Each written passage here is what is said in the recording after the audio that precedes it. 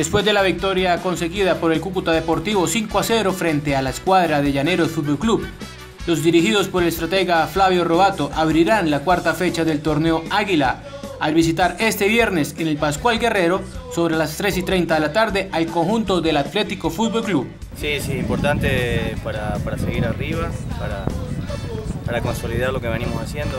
Nos, sirven los partidos de, de visitante para validar los triunfos de local, entonces nosotros estamos arriba y tenemos que mantenernos así. Un rival que a pesar que no sacó puntos, un rival duro, un rival que se hace difícil, este, así que mañana, bueno, con todo a, tratar de conseguir los tres puntos.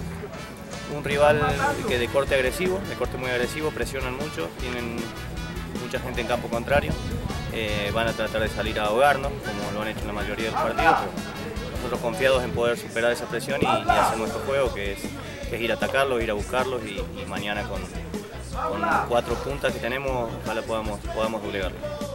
El profesor Robato no podrá contar con Luis Núñez y Jonathan Pérez por recibir tarjetas rojas en los compromisos anteriores. Durante la semana, el cuerpo técnico analizó las diferentes alternativas para poder reemplazar a ambos jugadores.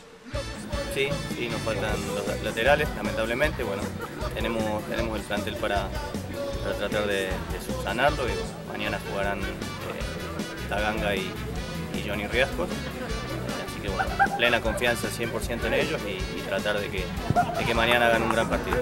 El compromiso de la cuarta fecha del torneo Águila es muy importante para la escuadra rojinegra para seguir luchando por el objetivo de estar en los primeros de la tabla de la reclasificación donde hasta el momento se ubica de primeros con 41 puntos, mientras que la escuadra del Valle del Cauca se ubica en la última posición con tan solo 12 unidades. Sí, esa es la meta de un partido muy difícil en Cali, pero tenemos un gran equipo y esperemos hacer las cosas bien y seguir en la parte alta de la tabla. Los dirigidos por el estratega del rojinegro saldrán por los tres puntos frente al Atlético Fútbol Club y seguir demostrando su buen fútbol y su aspiración de volver a la primera división del fútbol colombiano.